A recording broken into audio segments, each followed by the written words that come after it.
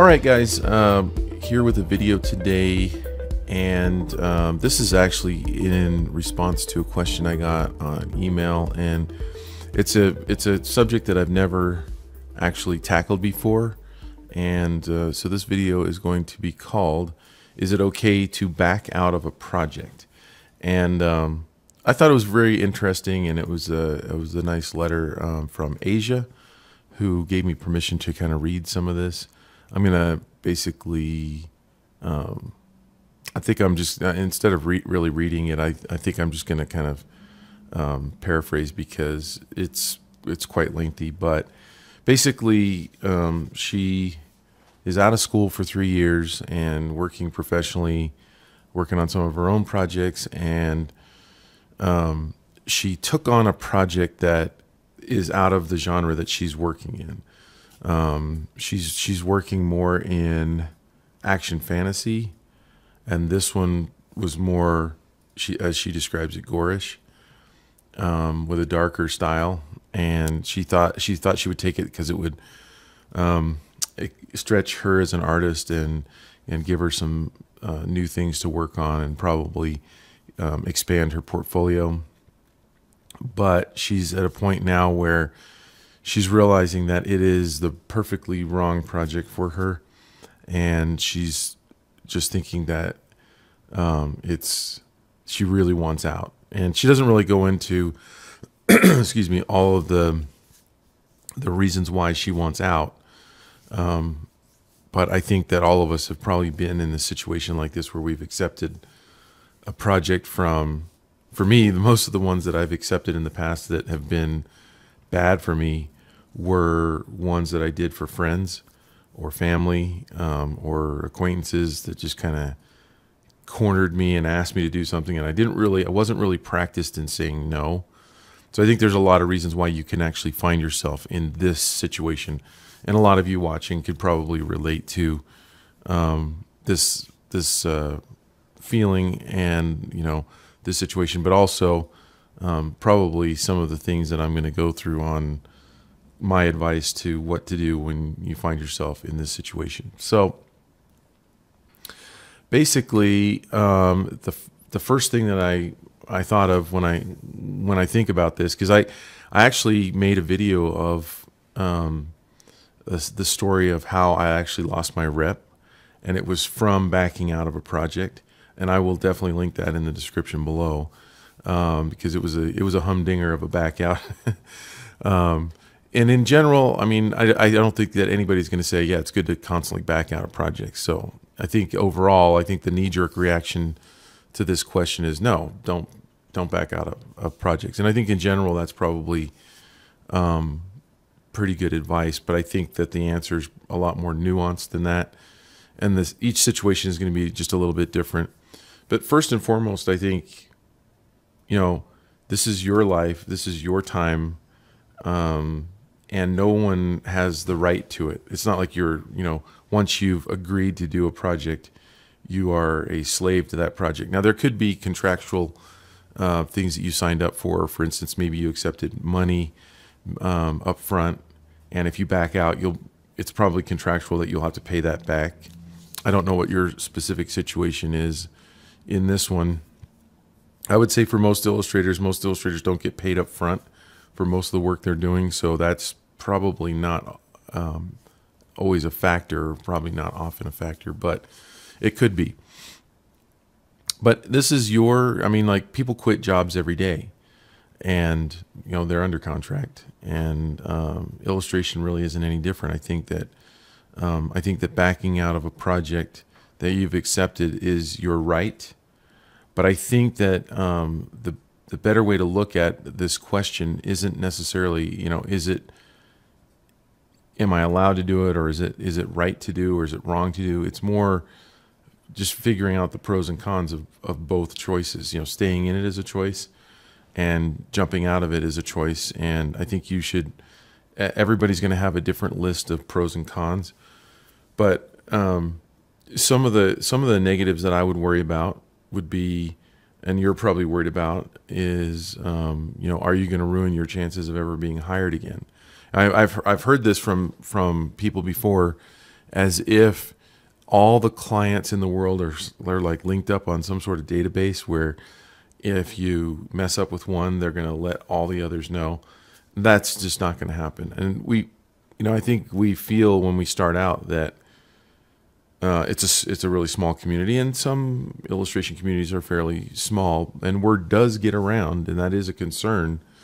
Um, but in general, um, you know, your reputation, uh, if you're if you're if your normal is to start projects and finish them, having one or two, uh, you know, I, in my opinion, isn't isn't really going to hurt you unless for some reason it becomes really high profile on social media because you did something really wrong or or something was really controversial about it. I I'm I'm thinking about right now. I'm thinking about, uh, and this isn't really a client that backed out, but there was recently a um, author who went on social media and complained about the cover art that he received for one of his books, and that went viral and uh, you know bad behavior tends to do that. So I, I, don't think that you have to worry about that so much with backing out of a project. Um, another another con is, and this kind of goes along with it, is you know the client is probably not going to have nice things to say about you to his or her peers, and so uh, in you know the word there probably will be. Uh, there might be some clients that might have been potential clients that you might not work with um, because yeah, I mean, like the, the client's probably not going to be very happy. Um, they're going to be upset. Um, another con, obviously, is you know you're not going to be getting the money.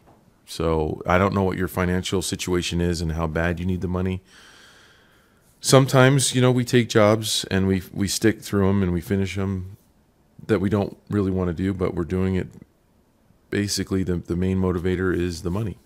Sometimes hopefully for illustrators, you know, the motivation is one, you love the art, and two, you're getting paid for it. So you know you're getting paid to do something that you love. I mean, that's the that's the the um, the ideal. But in in the real world, a lot of jobs we we take on are um, you know just to get us down the road financially a little bit. And so um, you know I don't know what your situation is there. Um, and the another con would be that you you wouldn't be expanding into this area, you wouldn't have a published piece for your portfolio. That's more of a of a uh, concern. The newer you are at illustration, the the the longer you've had your career, the less that becomes um, a factor. But it is something that you might you know factor in, and you know you're going to lose this. Um, the pros, you know, you're going to have this weight lifted off your shoulders, and if it's stressing you out, I mean, stress I really believe stress is a killer, and I think scientifically, medically, they're they're proving that stress is, um, you know, can lead to all sorts of um, physio- physiological problems in your body, and so you know, if it's really going to stress you out, then uh, it might be that that alone might be worth it just to say I, I can't do this, you know, and I, I'm sure there's a fair amount of stress um, staying in or just stressing over this decision, you know. But um,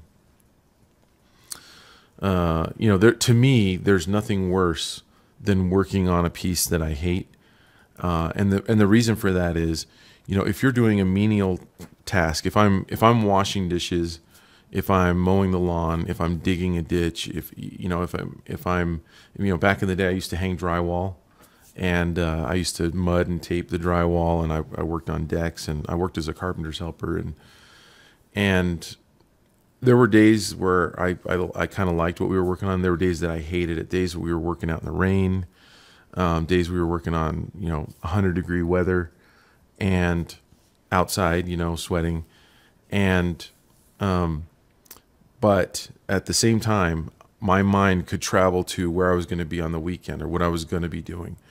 And um, and so you know you would just pound through it, but your mind could float off somewhere else. When you're working on art that you hate, you your mind has to be present in that hell that you're in um, in the moment. You know you cannot escape it because you need your mind to think about that artwork. And so to me, there's nothing worse.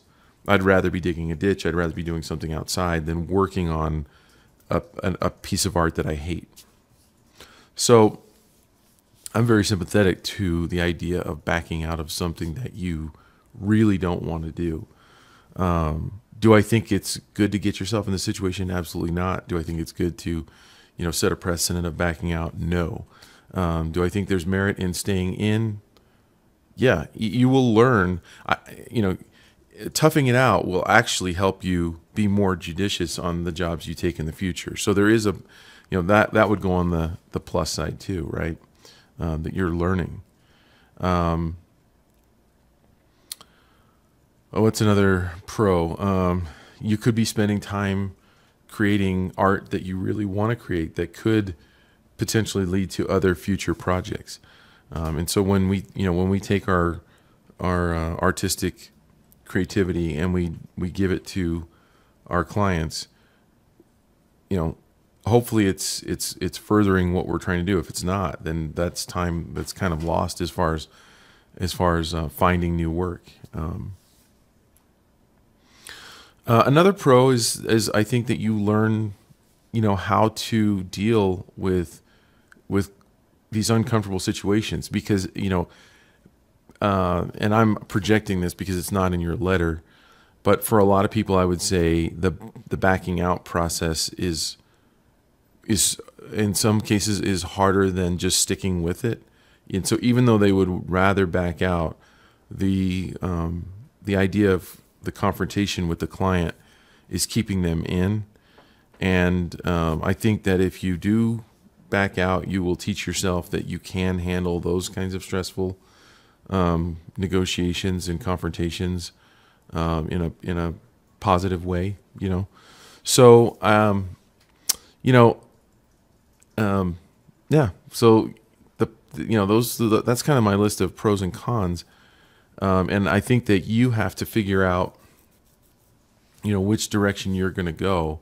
But I, I don't think that um, you know that I, I got the, I got the gist from this question that it's you know, is it is it morally wrong or right? I don't think that you can say it's morally wrong or right. Um, again, you know, you're not a slave once you once you agree to something. You know, you, I mean, the the, the contract is there to um, to basically be a document that that sets up the rules for that contract. But nowhere in the document that you sign, if, if you signed a contract, does it say, um, you know, we will take your firstborn if you back out of this contract. So I mean, like, I mean, I, I, I see it as an as a definite option that way. Now, if you are when you are um, if you do decide to back out, um, here's some advice that I would say, you know, in in dealing with it, is um, I would explain to the client, you know, that you should have, you feel like you should have said no in the beginning, but that you felt like you really wanted to grow with this project or whatever your reasons were. Um, and that that's why you got in over your head. But once you, um, you, you dug into it, you really started to realize that it, it wasn't for you and that you weren't going to be able to do a good job on it. And that, that that as the client you will probably be happier working with someone who really can treat your project with respect who really can fall in love with it and do a good job for you um, and make sure i like like the client could and and and i wouldn't say most likely would but there's a really good chance that the client's going to go negative and get upset and get angry and i think you have to understand that you have gone through the grief process over time. You've wrestled with this emotionally. And when the client hears about it, they're going to be going through the grief process of, you know, knowing like, oh crap, now I'm going to have to find somebody else. And this isn't going to be easy. And this is to, or this is going to blow my, my deadline, you know, this could, uh, could, could, there's a, there's a, this is going to be hard on me. And so as they're going through the grief process, they're to there's a good chance they're going to take it out on you. And I would say the the one thing that you probably should do is um, is take the abuse if it comes your way because you're you're initiating this and you know they didn't ask for you to say yes and then say no. So I I personally, I feel like it's their right to get upset. Now, it's it's not their right to abuse you, to get abusive. So it's it's their right to be angry. It's not their right to be abusive. If they became abusive, then I would I wouldn't uh, I would just sever the ties, and I wouldn't I wouldn't continue communicating with them. I'd just you know walk away and just ignore you know anything that they sent that's that's hateful or angry because I, I think that um, it's it's interesting what will happen if you go negative um, and you write something in an email or something. They could post that online and say, "Look what this jerk illustrator's doing," and then look what this jerk says to me. You know, and get you caught up in this whole thing that uh, you know, and they're not gonna they're not gonna talk about what they did to you. They're only gonna uh, expose you as a, as a bad person, quote unquote, right? So just take the high road and just let them vent, let them be angry um, if they are. Um, some some won't. Some some will um, understand, and you know some might even thank you for not going through with a project that you hate and not doing a good job on it. I mean, like that they should. That's really the mindset they should be in, right? Um.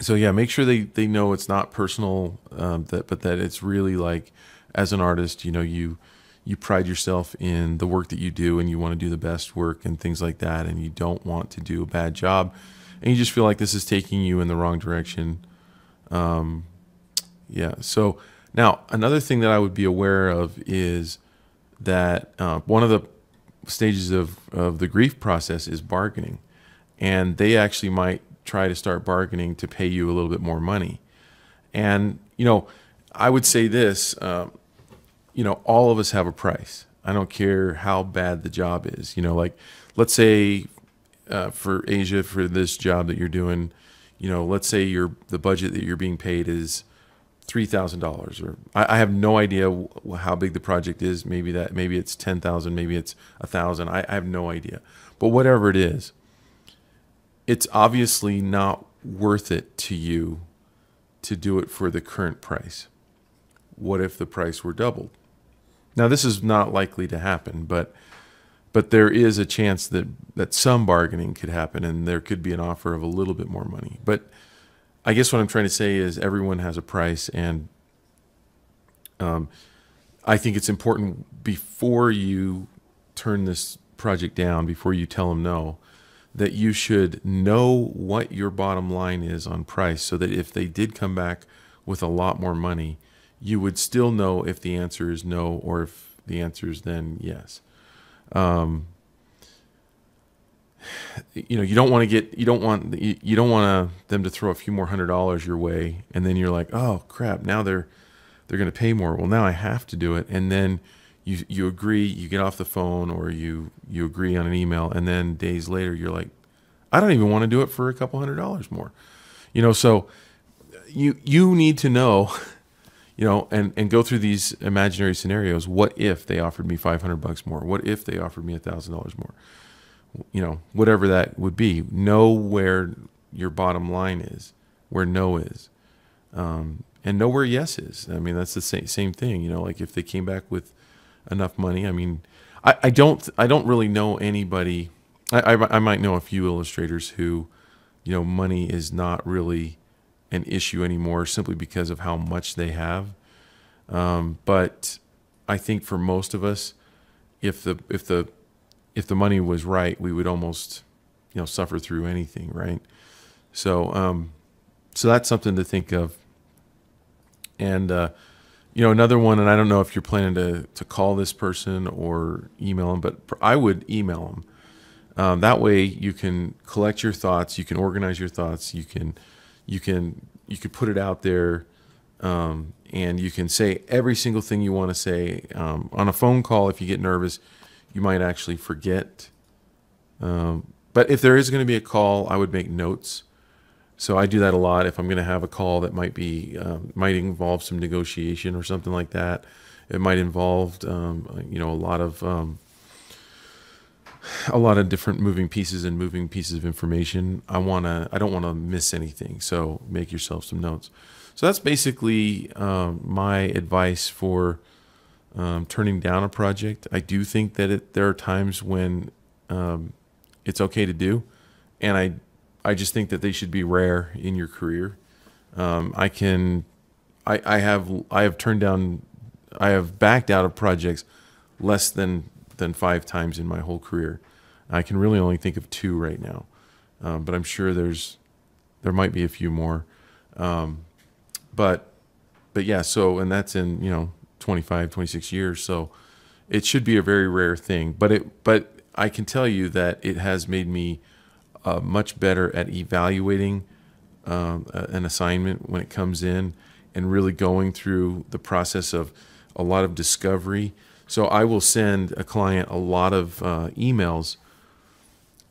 They'll send they'll send their initial email, and inevitably it won't contain enough information to make me comfortable to just say yes to this job. So I will just start writing out a response email with with lots of questions. I want I really want to know um, you know who I'm working with and what I'm going to be expected to do and exactly um, how hard and how complicated the artwork is going to be and how much freedom and flexibility I'm going to have uh, with creating that artwork and I mean just just all sorts of, of questions like that you know um, and I that's helped me avoid um, getting into these these problems. The times that I've gotten into them are where I've just been, you know, yeah, I'll do it, you know, and not really understanding exactly what the project is and how hard it's going to be and what the subject matter is going to be, um, and any any design parameters or things that you know could crop in, could creep up. I want to know it all and that way I can make my calculations. I can I can evaluate the budget and go, yeah, is this worth it? You know, do I need to ask for more money? I mean, all sorts of things like that. And um, man, it's it just makes your life so much easier to avoid these problems up front. But you have to go through these in order to get the experience, so that you can um, only work for the clients that you really want to work for. So, anyway, I wish you all the success in either staying with this project or backing out. I hope this helps other people. And as always, do not subscribe to this channel unless you want to see more videos like this.